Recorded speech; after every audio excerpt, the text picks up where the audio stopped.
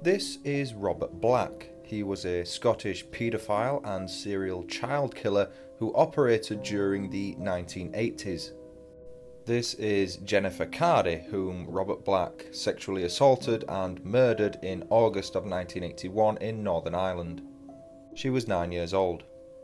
This is Susan Maxwell, an 11 year old girl who Robert sexually assaulted and murdered in July 1982. July 1983, Caroline Hogg, pictured, 5 years old, was sexually assaulted and murdered by Robert Black. This is Sarah Harper, 10 years old, who in March 1986 was sexually assaulted and murdered by Robert Black. Teresa Thornhill was 15 when Robert Black attempted to kidnap her, but she luckily got away in 1988. Genette Tate is suspected as another victim, but there's insufficient evidence to confirm it. It's a very disturbing case. It's available on Thursday. Please check it out. Give us a follow if you like it.